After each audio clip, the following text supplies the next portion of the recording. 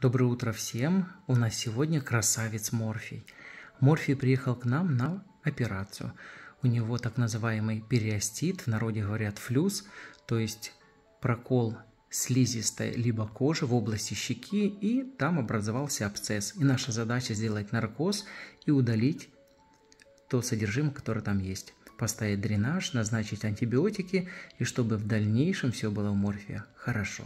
Поэтому наша история о морфии и о его выздоровлении. Морфию уже сделали седативный укольчик, и он в состоянии релакса. Сейчас перейдем в операционную и выполним нашу процедуру.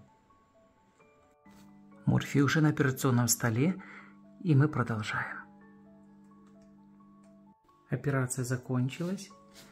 Морфий приходит потихонечку в себя. Мы поставили ему специальный дренаж, через который будет вытекать все то воспаление, которое там собралось. Поэтому наша история сегодня о морфии и его истории выздоровления. Все прошло хорошо, морфий просыпается.